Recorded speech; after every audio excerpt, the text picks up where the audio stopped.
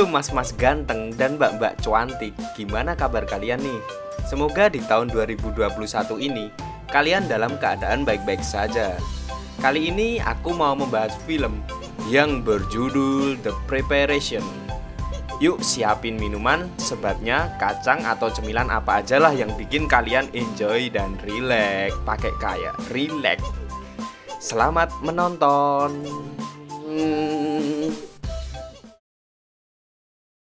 Film ini berkisah tentang seorang ibu bernama Aisun yang telah hidup ditinggal mati suaminya dan hidup bersama dengan anaknya yang bernama Ingyo yang mengalami cacat mental.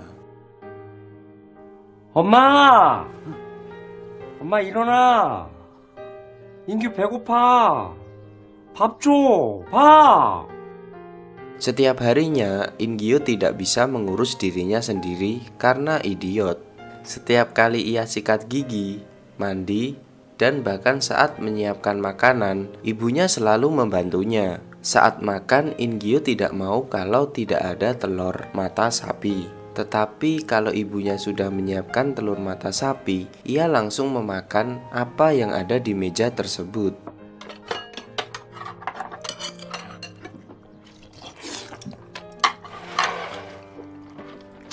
Setiap hari ia selalu membantu ibunya berjualan. Ia selalu membawa teropong sebagai mainannya. Karena menderita idiot, ia sering kehilangan fokus. Seperti ia selalu mengumpulkan kertas promo yang berada di mobil dan bermain home pimpah seperti orang gila. 어? 사자니까 싫어! 가위바위보 하고 갈 거야. 그럼 엄니랑 해요 Ternyata ibunya bekerja sebagai penjaga toko kelontong, dan di saat melayani pembeli ada yang tidak beres dengan tangannya. Ya, Cemiran apa? Dan ia pun berniat ke apotik untuk membeli obat. Saat ingin mengajak Inkyu ke apotik, Inkyu malah menolak dan ibunya pun meninggalkannya di warung tersebut.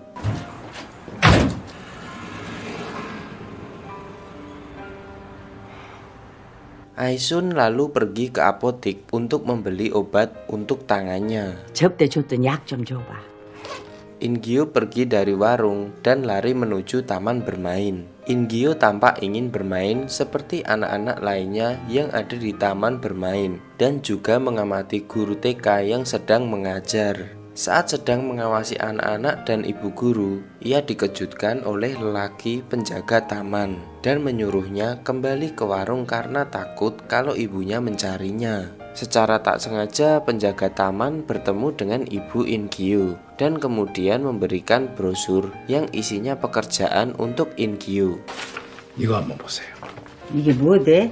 우리 인규한테 맞는 일자리 있나 한번 와서 보시라고요. Tapi karena melihat bagaimana keadaan anaknya, Aisun nampak tidak percaya bahwa Inkyu bisa bekerja di sana. Ketika Inkyu sedang berada di dekat taman bermain, ia disemprot oleh beberapa anak menggunakan semprotan air. Guru mereka pun datang dan menyuruh anak-anaknya untuk menghentikan perbuatan mereka. Saat mengobrol dengan guru tersebut, Ibu Inkyu datang. 3, 4, ah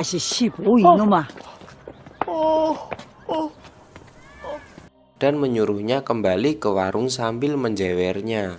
Ingyo dan ibunya kembali ke warungnya dan ia bertemu dengan dua orang yang mengajaknya untuk pergi ke gereja. Alih-alih menerima tawaran tersebut, ibu Ingyo malah marah-marah. 그리 능력 있는 거식이면 나랑 우리 아들 한날 한시에 돼지게 해달라고 쇼부나 좀 봐주시오 Saat pendeta meninggalkan mereka berdua, ibu Ingyo sedikit menggoda Ingyo dengan mengambil permen yang sebelumnya diberikan oleh pendeta. Ingyo pun berteriak karena permennya diambil oleh ibunya.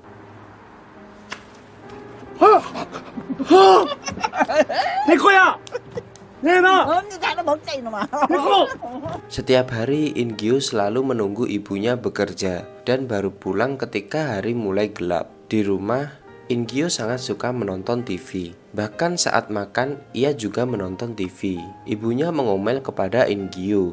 Ingyo akan menjadi bodoh jika sering menonton TV. Tapi tak diduga Ingyo malah berteriak kepada ibunya bahwa ibunya lah yang bodoh.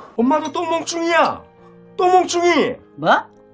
Di lain sisi, sepertinya Ingyo sangat sayang kepada ibunya. Ketika ibunya lelah merawatnya, ia berkata ingin menyanyikan sebuah lagu. Ingio pun menyetel sebuah radio dan menyanyikan sebuah lagu sambil menyuruh ibunya untuk bertepuk tangan. Suatu saat kakaknya datang bersama anaknya. Ingio sangat senang dengan kehadiran keponakannya, tetapi kalau dengan kakaknya ia merasa takut karena sering dimarahi. Saat bersama keponakannya, ia secara tidak sengaja melihat uang yang ada di tas keponakannya. Ia mengambilnya untuk membeli bakpao dan juga soju. 엄마, 삼촌이 내 용돈 뺏어갔어. Kemudian ia mendengar ada dua orang anak-anak dan mengatakan idiot. Tapi karena mabuk, Ingyo mengajar mereka berdua sampai babak belur hingga membuatnya masuk ke kantor polisi. Aisun datang untuk meminta maaf atas perbuatan anaknya di kantor polisi. 어. 다 제가 잘못 키운 탓입니다. 참말로 죄송해요. 용서해 주세요. Dan kemudian ia pulang ke rumah sambil memarahi Ingyo karena telah memukuli orang. Aisun membayangkan saat dirinya masih muda bersama Ingyo dan kakaknya sewaktu masih kecil. Tapi setelah bangun dari tidur, ia merasa ada yang tidak beres dengannya dan memeriksakannya ke rumah sakit. Setelah memeriksakan penyakitnya, Aisun ternyata menderita kanker otak stadium 3 sehingga ia hanya memiliki waktu satu tahun sebelum meninggal. 그것도 확률이 높진 않습니다. 이대로 방치한다면은 길면 1년, 뭐 짧으면 6개월 정도밖에 saat kelaparan, Ingyo membuka kulkas dan akan memanaskan makanan ke dalam microwave. Melihat microwave mengeluarkan listrik, Ingyo malah tertawa kegirangan.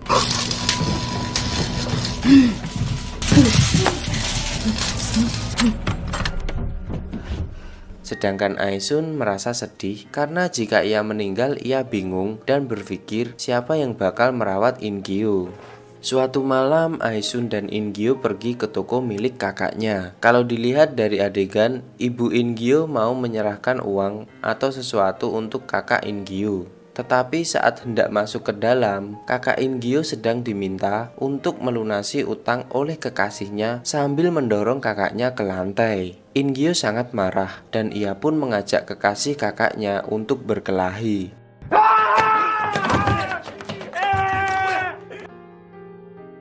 Setelah menolong kakaknya, ia malah ditampar kakaknya. Ibu Ingyo sangat marah karena Ingyo ditampar oleh kakaknya sendiri, padahal dia hanya ingin membantunya.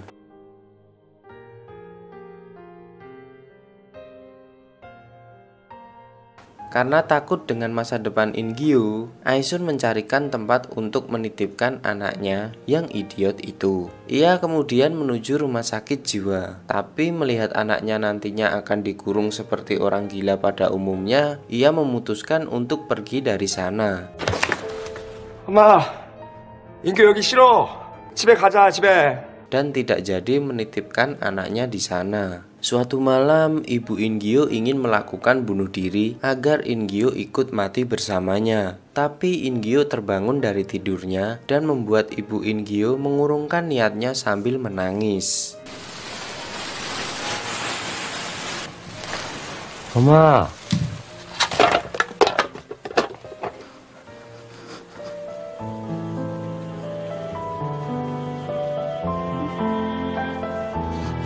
Suatu hari, ibu Ingyo memohon kepada Pak Geajang untuk mengajari anaknya hidup mandiri. Pak Gejang sempat mengkhawatirkan apakah Ingyo bisa hidup mandiri dilihat lamanya pelatihan untuk orang idiot bisa memakan waktu 1 hingga 2 tahun bahkan kasus kegagalannya tinggi. Tapi dengan pengertian Ibu Ingyo bahwa dia akan operasi kanker, Pak Gejang bersedia membantu Aisun agar Ingyo bisa hidup mandiri. 박 계장이 좀만 도와줘. 응?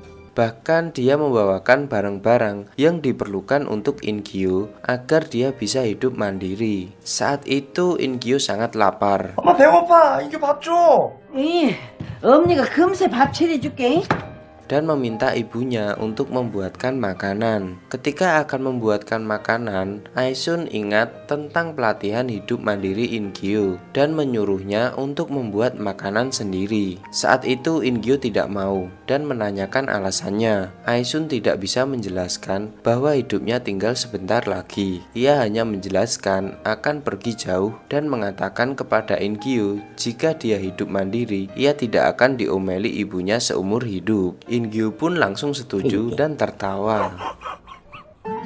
Saat diajari memasak telur oleh ibunya, Ingyo langsung makan dari pancinya dalam keadaan panas dan membuat mulutnya kepanasan. Walaupun dia diomeli ibunya, ia merasa senang karena ia memakan makanan favoritnya, yaitu telur goreng. Setelah itu, ia diajarkan untuk membuat roti isi di toko pelatihan. Alih-alih membuat roti isi, dia malah memakan daging isi milik temannya dan membuatnya mendapatkan pukulan dari ibunya.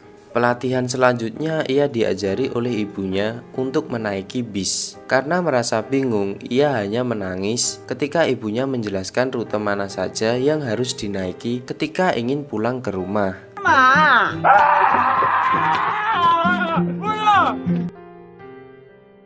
Ibu Ingyo sangat mencintai anaknya. Ia selalu mengajarkan anaknya dengan lemah lembut hingga Ingyo bisa menggoreng telur sendiri. 아이고 잘하네. Ibu Ingyo sampai membuat catatan kepada Ingyo agar nantinya dia tidak terkena masalah apapun. Setelah kejadian itu, ia pun berhasil mengajari Ingyo dengan metode yang Ibu Ingyo ajarkan. Kegiatan tersebut Ingyo lakukan sampai dia benar-benar bisa hidup mandiri. Bahkan dia sampai bisa memotong timun hingga mencukur jenggotnya. Suatu malam, Aisun akan diberi kejutan oleh Ingyo. Ingyo menyuruh ibunya untuk tutup mata, dan ternyata Ingyo bisa membuatkan makan malam untuk mereka berdua. Ibunya sangat senang dengan apa yang dilakukan Ingyo, dan di sini aku mulai sedih karena melihat perjuangan seorang ibu melatih anaknya untuk mandiri. Saat ini Ingyo ingin tidur Lalu ibunya datang dan mengatakan bahwa dia akan pergi ke rumah temannya. 내일은 너 혼자서 밥 챙겨 먹고. 인기 혼자? 그려. 엄니 새벽 일찍 친구네 놀러 갈 거니까. Ibunya menyuruhnya agar Ingyo melakukan seperti apa yang ia ajarkan sebelumnya saat latihan. Sepertinya ibu Ingyo mengetahui waktunya tidak lama lagi. Ia memberikan sesuatu ke kakak Ingyo yang sepertinya warisan agar digunakan untuk membayar utang. Sedangkan sisanya untuk keperluan Ingyo di masa depan. Sepulang dari tempat kakak Ingyo, ia menelpon Ingyo yang berada di rumah. Tapi sesampainya di rumah, ia merasa sangat senang karena Ingyo sudah bisa merapikan tempat tidurnya dan pergi ke tempat pelatihan untuk memasak sesuatu. Kesehatannya semakin memburuk, membuat ibu Ingyo harus cepat menentukan tanggal operasi karena tidak bisa ditunda lagi. Sementara itu, Ingyo marah ketika suatu saat ada pembeli di toko rotinya mengejeknya dengan sebutan bodoh dan membuat Ingyo memukulnya. Ternyata yang membuat Ingyo marah adalah kejadian sewaktu kecil ketika ayahnya meninggal. Ibu Ingyo tanpa sengaja menyebut anaknya goblok. 그만 좀요. 그만 좀 하라고 이 바보 같은 놈아!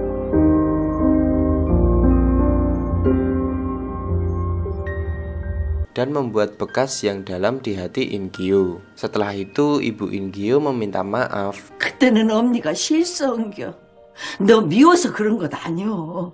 dan membuat hati Ingyo kembali normal. 그럼 Ingyo sangat benci untuk menyapa orang duluan, tetapi dengan bantuan teman-temannya, Ingyo menjadi lebih berani dan mulai menyapa seseorang tanpa rasa malu. Ia pun mulai menyapa setiap orang yang ada di pasar dan membuat orang-orang tersenyum. 안녕하세요. 안녕하세요. Ternyata Ingyo sangat perhatian terhadap keluarganya. Ia sampai hafal tanggal ulang tahun keluarganya dan juga hari pernikahan kakaknya. 12월 11일, 누나 9월 6일, 미소리 6월 18일. 와, 잘한다! 10월 17일 누나 매형 결혼한 날. Ia sangat sedih karena tidak bisa hadir di pernikahan kakaknya dan menyebutkan bahwa foto kakaknya cantik ketika menggunakan gaun berwarna putih. 예뻤어. Di institusi tempat Pak Gejang bekerja, Ibu Gio melihat selembaran untuk penyandang disabilitas bisa berpartisipasi untuk mendaki gunung. Pak Gejang menawarkan kepada Ibu Gio agar anaknya berpartisipasi. Karena In Gio suka jalan-jalan, Ibu Gio sangat senang jika anaknya bisa ikut dalam kegiatan tersebut. In Gio sepertinya jatuh cinta kepada ibu guru TK. Ketika ia sedang melihat ibu guru mengajar, ada ibu-ibu yang mempergoki In Gio menggunakan teropong. Karena salah paham dikira penculik anak, Ingyo lari menuju jalan raya. Tapi tak sengaja, ia malah menyelamatkan ibu guru beserta muridnya yang hampir saja ditabrak oleh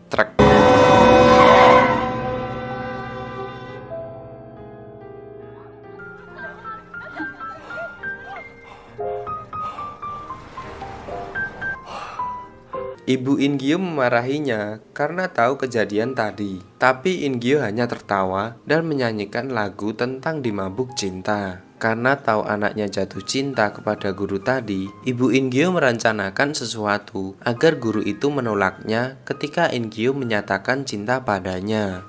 Ingyo sepertinya serius untuk menyatakan cinta kepada ibu guru itu. Ia sudah menyiapkan roti dan berdandan serapi mungkin untuk menyatakan cintanya. Saat menyatakan cinta, jantung Ingyo berdegup sangat cepat. 선생님, 안녕하세요.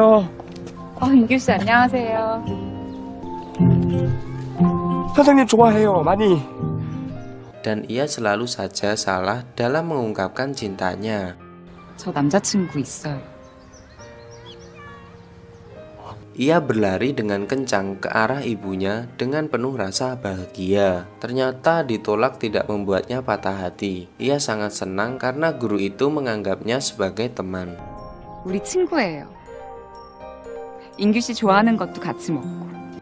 Dan sepertinya Ingyo sangat senang karena mempunyai teman baru. Saat di rumah, Ingyo menceritakan bagaimana ia menyatakan cintanya. Ia menyebutkan bahwa dia mencintai guru itu seperti ia cinta kepada ibunya. 좋아한다고 했어. 엄마만큼. Dan kemudian ternyata Ingyo memberikan hadiah roti yang ia buat kepada ibunya. Menerima hadiah itu membuat ibu Ingyo sangat senang sekaligus sedih. 엄마 슈크림 좋아해. 인규 알아. 우리 엄마 슈크림 좋아해.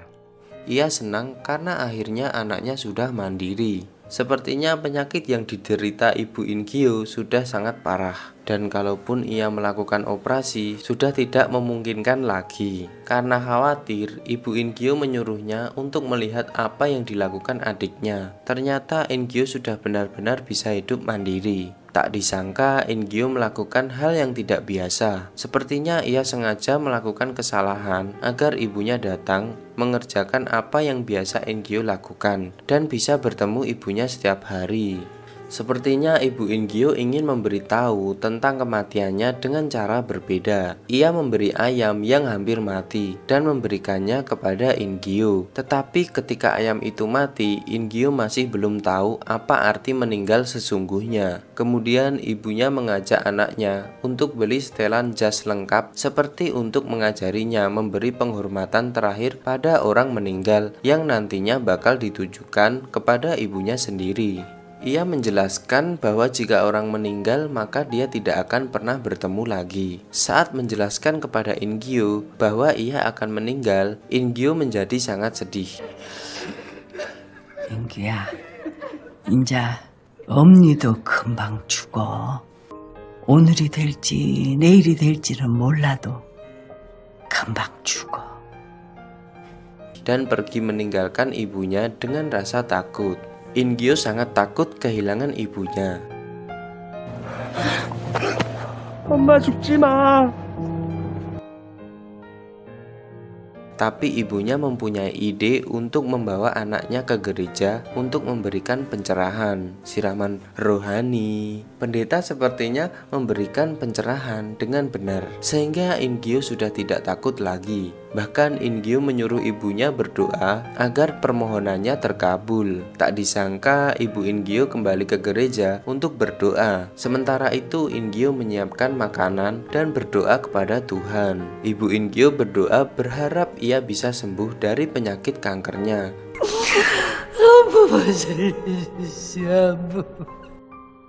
Hari demi hari berlangsung. Terlihat dari ayam milik Ingyo mulai tumbuh dewasa. Di sini tubuh ibu Ingyo terlihat tidak sehat dan ia tidak memakan makanan yang disiapkan anaknya. Ingyo mulai mengikuti pelatihan untuk mendaki gunung dan di hari itulah Ingyo akan menaiki gunung tertinggi di Seoul. Nampaknya Ingyo sudah mulai bisa bergaul dengan orang lain dan bergabung dengan rombongan bisnya yang akan melakukan pendakian gunung. Suatu saat ibu Ingyo mengatakan agar dia tidak masuk kerja di toko roti terlebih dahulu. Ibu Ingyo mengajaknya ke pantai dan ia bercerita tentang masa kecil Ingyo bersama kakaknya. Sepertinya Ingyo dan ibunya membuat janji spesial. Ibu Ingyo memohon untuk digendong di pinggir pantai, tetapi saat adegan ini terlihat siluet.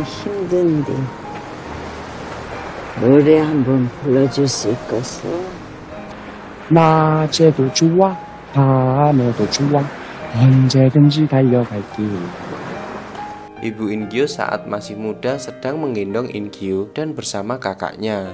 Tepat di gendongannya, Ibu Ingyo akhirnya meninggal. Di akhir episode, Ingyo tidak merasa sedih kehilangan ibunya. Ia merasa sangat tegar dengan kematian ibunya. Ia terlihat sangat bahagia karena teman-temannya datang untuk mensupport Ingyo dalam keadaan berduka. Saat-saat terakhir diperlihatkan kenapa Ingyo terlihat tertawa bukan sedih. Ternyata itu adalah janji dari ibunya. Ibunya berkata, jika ia menangis, kakaknya akan menjadi sedih dan ikut menangis. Ia juga berkata kepada Ingyo agar tetap tersenyum dan melambaikan tangan saat mengantar ibunya menuju surga. Di akhir episode, terlihat Ingyo masih bekerja di toko roti. Saat hendak melayani guru TK, ia diberi botol minuman agar dibawa saat mendaki gunung. Saat pulang, ia datang mengunjungi tempat ibunya dulu bekerja. Ia kaget karena penjual tersebut mirip dengan ibunya. Sesampainya di rumah, ia mengambil telur dari ayam yang dia pelihara dan membuat makan malam. Ditunjukkan juga scene di akhir film pada saat ia mendaki sebuah gunung. Sesampainya di puncak, ia dengan keras memanggil-manggil nama ibunya yang berada di surga dan film pun tamat.